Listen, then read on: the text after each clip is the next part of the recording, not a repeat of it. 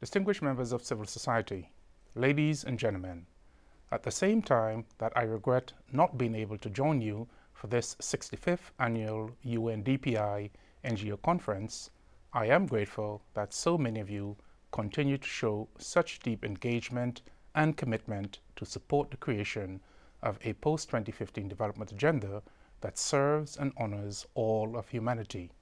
Your voices are crucial to this process, and this conference comes at a timely moment to consolidate your positions in advance of the intergovernmental negotiations.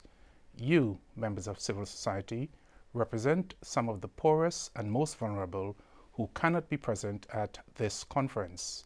It is you who will be responsible for holding governments to account, while also acting as key partners in implementing the agenda.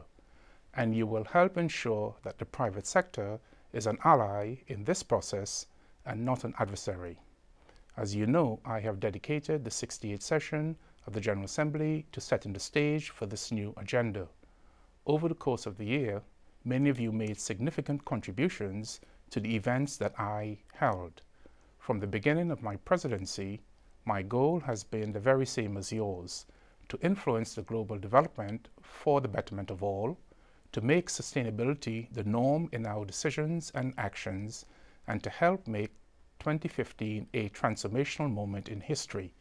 As the 68th session comes to a close, I am looking forward to meeting with you one last time on 10th September to hear your reflections on the post-2015 development-related processes that unfolded during the 68th session.